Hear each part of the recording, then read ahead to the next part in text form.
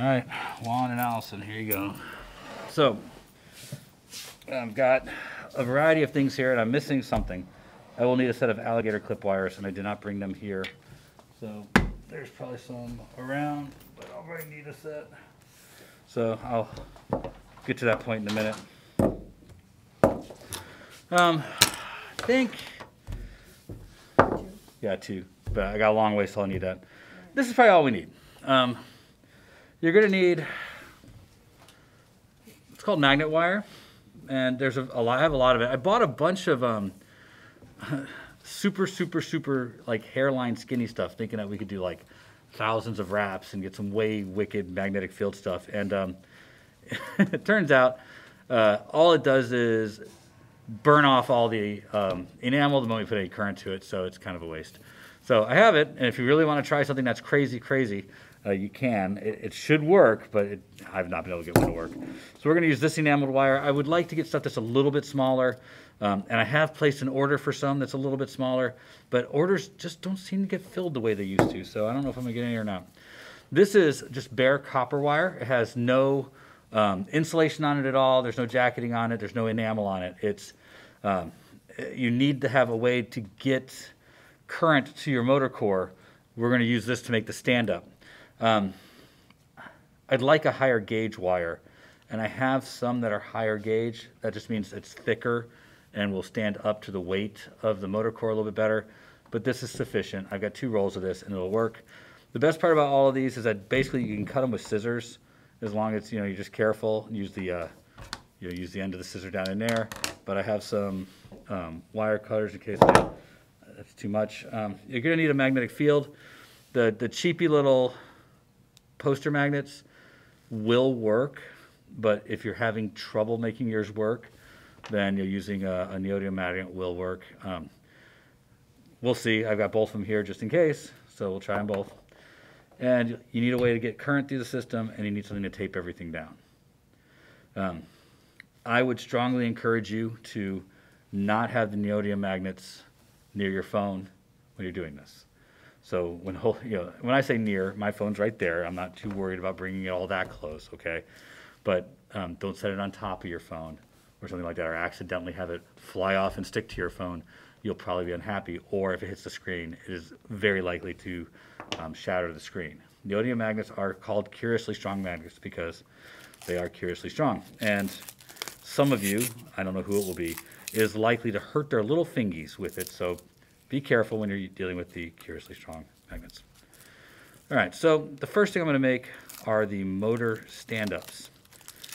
And it's always best to have something that you can use as a form because you want to try and make really clean circles in the wire for the motor to mount in. So I have found that the top of a Bic pen is almost perfect. In fact, I ordered a whole bag of Bic pens just for this purpose, so you guys would have them for this lab. Uh, and maybe to write with, but probably not. For this one, you're gonna need, find the end of the wire. Um, got a little tarnish there, I'm gonna get rid of that. And um, you don't need much but you're going to be bending it in half, so probably about, what is that, about 30 centimeters? You know, maybe, maybe 20. Um, it looks like it's got a little bit of burn or tarnish in there. You don't want that to be where your actual motor mount's going to be, so look for the parts that are nice and shiny, and that's where you want your motor mount to go.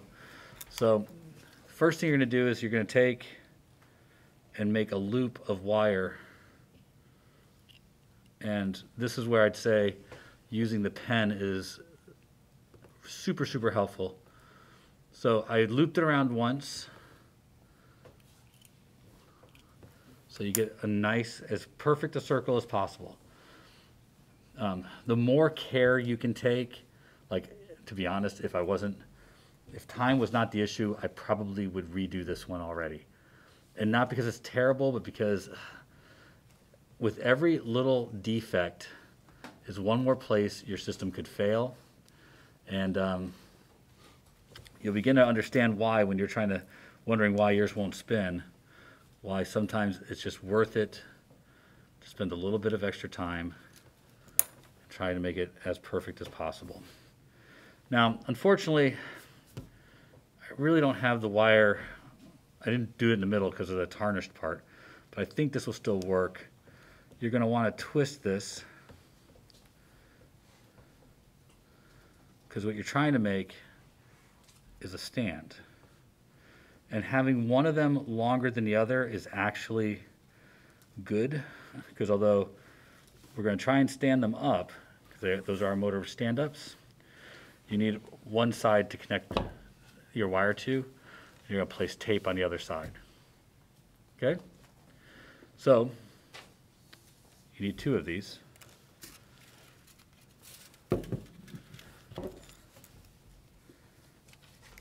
Am I actually on camera, or my hands at least? All right.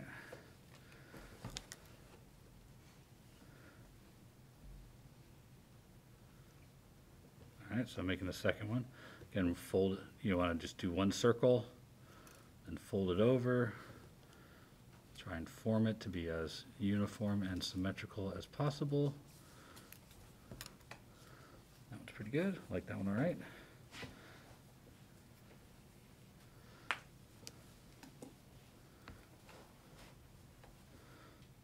Now, the reason you're, you're just twisting them is to provide a little bit more reinforcement. Also, it will give you the ability to kind of direct them. You need these to be about the same height. So I have one a little bit longer than the other, so uh, need to unwind one. There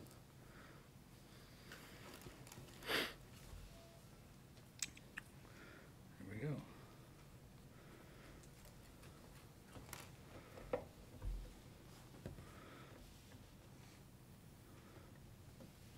All right. So these are going to serve as my my motor mounts. They will be taped down to the desk, so you don't have to have them balanced perfect. But you know, you're going to want to have a place to connect your wires for your motor. You're likely going to take and bend these once you actually get your motor in place, but having them nice and straight at the beginning is a good way to start. So those are my motor mounts. Um, any questions about that? All right, so now we're gonna wrap our motor core. You're gonna use enameled wire for this. I have a ton of it. And uh, I buy more every year. Um, but because I have a ton, you know, I don't like to be super wasteful. Uh, there's diminishing returns here. You have to have enough of it where there's enough wire wraps so that you generate a large enough magnetic field for it to interact with the other magnet. Um, basically, you need enough current in the wire where there's enough force on the motor to get it to flip. But as you build it bigger, it gets heavier and it also gets less collimated, making it harder to control. So if you're asking exactly how much to use, I say arm length, but that kind of varies by person. So I'm going to use, I don't know, maybe a little more than my arm. You know, and again, I don't always remember how much that's going to be when I actually start wrapping it. But I also know that once I start wrapping it, I can choose to cut off a piece if I think it's going to be too thick. Um, Expo markers are almost perfect for this because they're tapered just the right amount, but they, they form a great, a great perfect circle. So I leave the cap on because I'm going to wrap it right here by where the label is. And when I'm done, I can pull the lid off and get it off really easy. But if I have a mistake or if it pops open with the cap on, it'll keep it from flying off. So you need a little bit of extra wire on both sides, but you don't need a ton. So I'm going to start with just a little bit of extra. You can always trim it off. And, but you need to have enough because you're going to be using it to tie your motor to. So you need to have enough here where you have, you can grip it and tie it.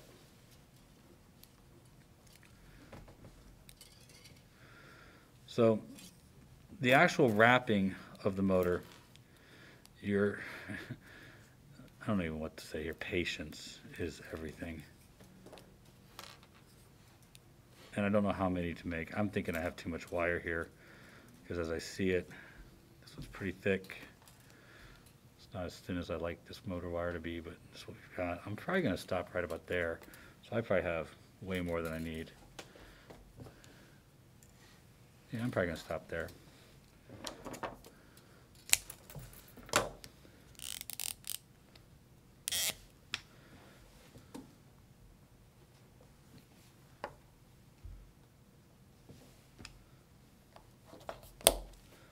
All right. So this is what you're looking for. And the next part is is kind of an art.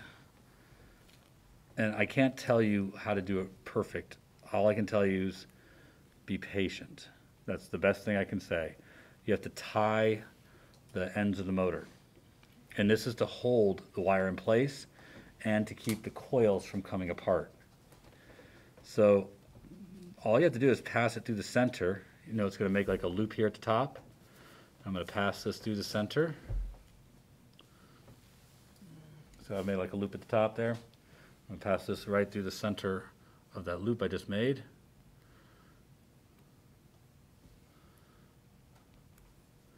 Now, this wire is a little bit thicker than what I used last year, so you might need a tool to kind of pull it tight.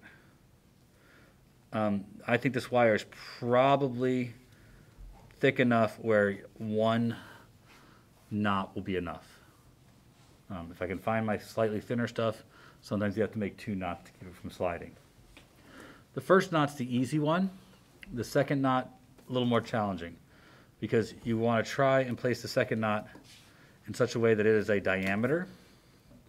And you may find, like I'm finding, that my big man hands have kind of misshapen the loop. So you may want to put it back on the marker to kind of shape it back up.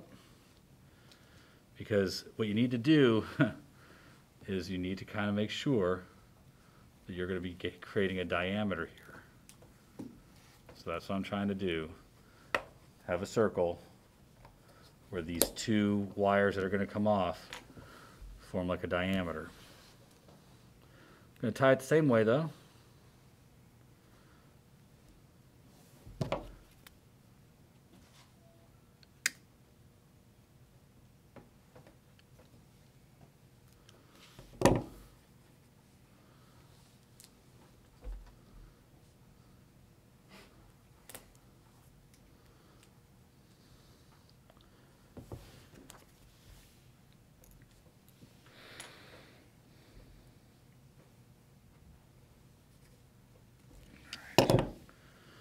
All right. I think that looks okay. So all I'm trying to do here is make sure that it's going, you know, cutting straight through, and I'm trying to make sure that it looks circular and that I have nice, clear axles through the middle. Wait, ju- ju- just to repeat, so when you're grabbing like the excess wire, you're going through the loop and then going up and then knotting it, tying it? Not doing anything more than, you can look at it.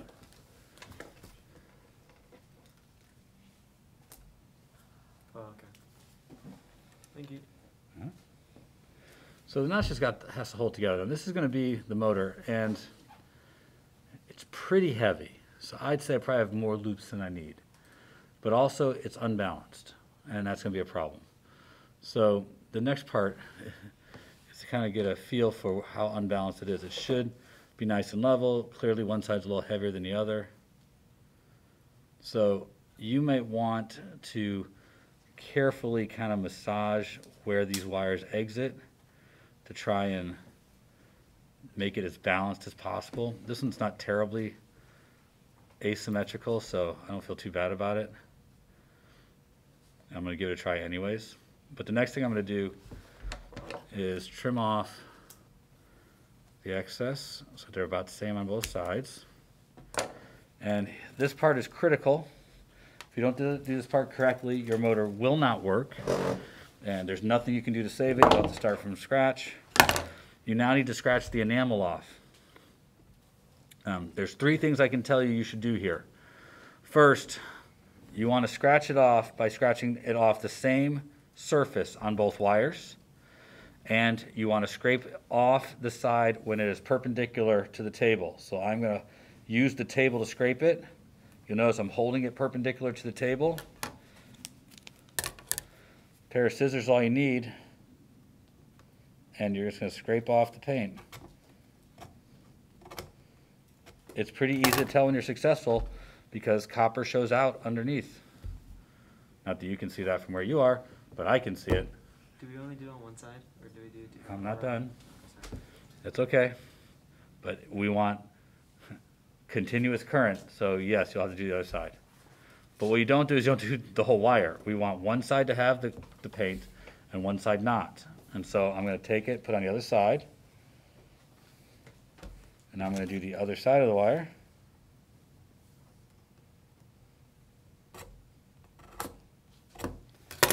Now, when doing it, it's details, right? Try and get as close to the inside as possible. This thing's gonna move back and forth inside the motor mounts. You need it to be always making contact with the motor mount for there to be current.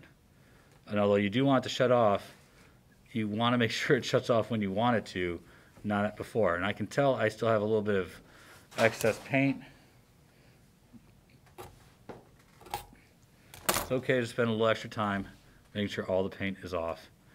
And this is gonna be my motor core, and I'm hoping it's going to work. It's a little heavy. I think it'll be okay. Okay, so my motor core, my stand-ups. So the next job for me is to put my stand-ups where I want them. So I'm gonna get a piece of tape ready. You're gonna need probably three pieces of tape, has been my experience. And I'll leave my Gorilla duct tape for us all to use.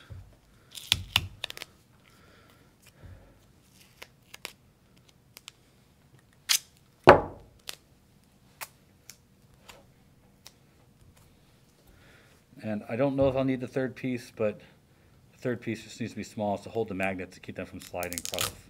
across. The magnets will not be attracted to the copper, nor will the copper be attracted to the magnets. Okay, so um, they're not paramagnetic. So I'm going to place the first one on the table or wherever you want to have your motor. Just get it taped down nice and good.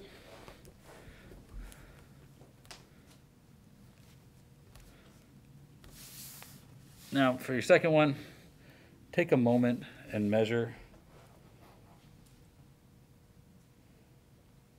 Motor placement is, is not critical. You can always pick it up and move it, and you can always bend the, the stands a little bit. But getting them the right distance apart can really help make this go easier for you.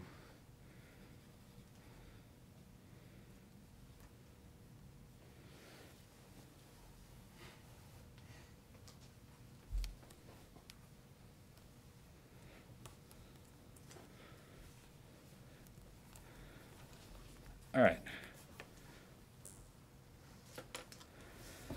Okay, so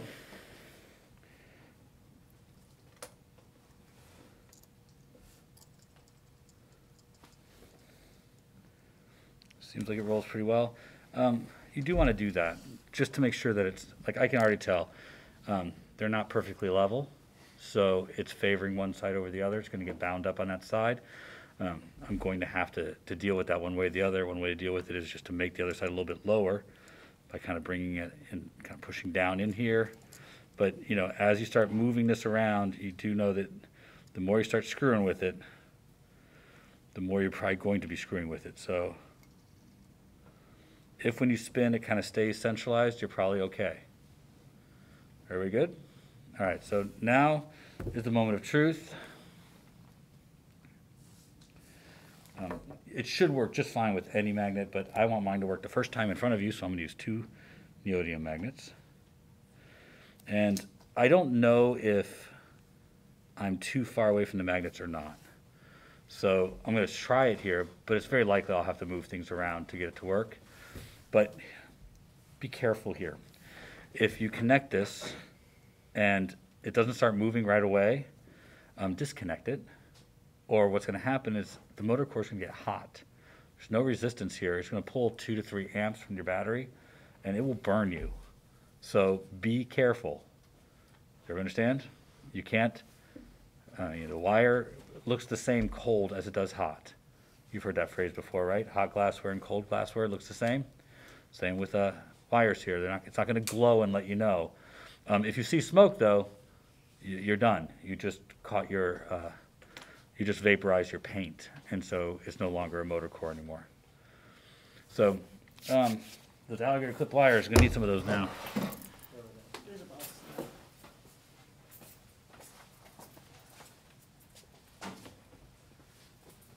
Do you place the magnets directly under the motor core or like a little bit in front of it? You just need a magnetic field for it to interact with. Okay. So experiment a little bit would probably be best.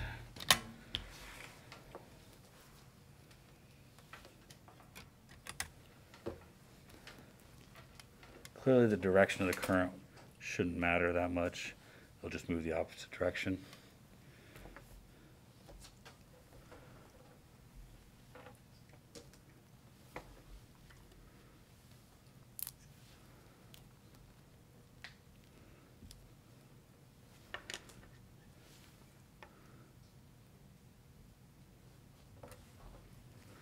So in general, the closer you get your magnet to the motor core, the better. So you'll notice, first thing I did was bring it now nice and close. All right.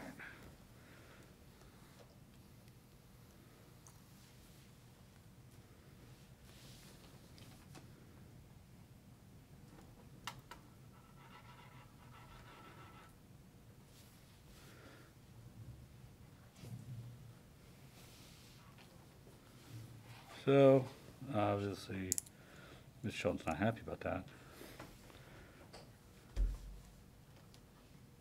So, when I get it and it doesn't work right away, there's two things I look for. The first is I did, you don't know what just happened, but I'm trying to get it to jump under my fingers. And what I mean is, if you move it around so you get contact, when, when there's current, you should feel it jumping under, under your fingers, and that's what I'm feeling here. So I know that when it's getting contact, I'm getting the kind of interaction I want. So the rest of this is really about balance and making sure that it is getting the, the interaction you want.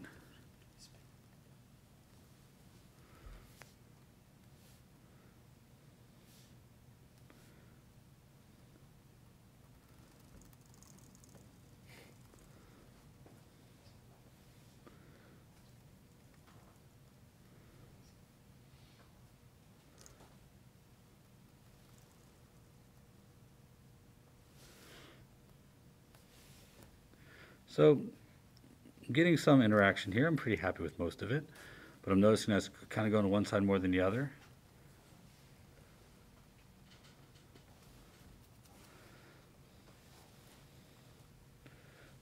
There it is. And that's a simple motor. Um, not as fast as I'd like it to be. Um, usually we can get them go a lot faster than this. It's not terrible. I really think it's because the wire's heavier. And, I mean, I have more than enough current. It was really flipping, you saw it move the magnet when I held it still, which suggests that it's powerful enough magnetic field. I think my motor's just too heavy. So I'm thinking maybe not this much wire, but maybe this much wire or less. Uh, making it a little bit lighter should allow it to move faster. You get, you do get more force on it, but, I mean, it's an inverse relationship, so making it heavier, not always best. If you use like more magnets, will it go faster? Yes. But I have a limited number of those too. Also, you might find that if you switch the direction of the current, it might favor spinning in one direction over another. So especially for placement of the magnet, the magnets themselves. But I'd argue that that's pretty good. So this is a simple single pole motor. This is what I want you guys to make. Um, with the amount of time you guys have today, I think you could probably get, if both of you are working, you could probably get your stand-ups made and maybe even get your, your core wound. Um, I'm gonna leave all the materials here and I'll leave this one running on the desk for a bit. But I do want you to, um, if you're going to not finish today, uh, just put your stuff in the cabinet or pack it away and bring it back tomorrow. I'm going to grade you tomorrow on your ability to have a working motor. So if things don't work out while you're working, you have plenty of time to build and do another one. Does that make sense? All right. Any questions about what I'm expecting?